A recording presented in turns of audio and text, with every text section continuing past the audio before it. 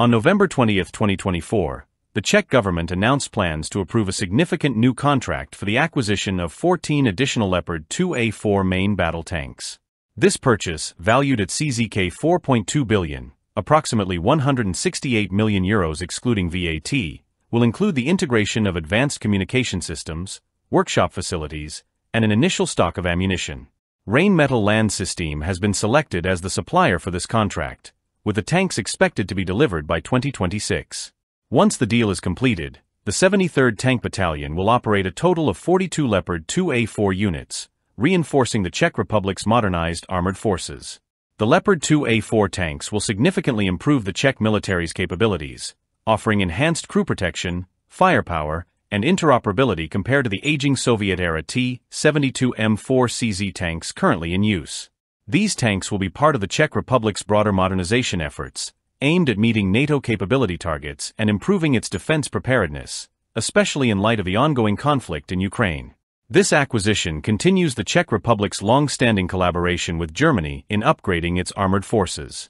In October 2022, the Czech Ministry of Defense participated in Germany's Ringtausch exchange program, receiving 14 Leopard 2A4 tanks and a Buffalo armored recovery vehicle. In return, the Czech Republic donated Soviet-era equipment to Ukraine, including spare parts, ammunition, and training for Czech personnel.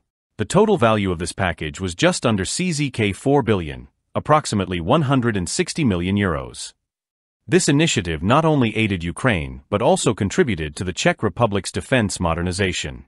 Moreover, Germany has pledged to deliver an additional 14 Leopard 2A4 tanks and one Buffalo 3 recovery vehicle to the Czech Republic in 2024, with deliveries scheduled between late 2024 and early 2025. The new purchase of Leopard 2A4 tanks aligns with the Czech Republic's commitment to NATO and its ongoing efforts to improve interoperability within the alliance. By 2026, the 73rd Tank Battalion will operate a total of 42 Leopard 2A4 tanks, all designed to work seamlessly with NATO forces. This modernized fleet will enable the Czech military to better align with NATO standards, contributing to the overall defense capability of the alliance. The Leopard 2A4 tanks are just one part of the Czech Republic's larger strategy to modernize its armored forces. In addition to this contract, the Czech government has also approved plans to acquire up to 77 Leopard 2A8 tanks from Germany, with deliveries expected by 2030. This acquisition, worth approximately CZK 52 billion, around 2.08 billion euros, is part of a joint procurement program that will see the Czech Republic replace its aging fleet of T-72M4CZ tanks with newer, more capable Leopard 2A8 units.